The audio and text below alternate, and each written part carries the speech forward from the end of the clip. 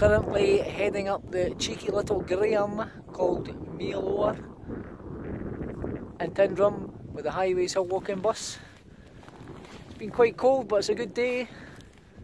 The higher tops are above the cloud though.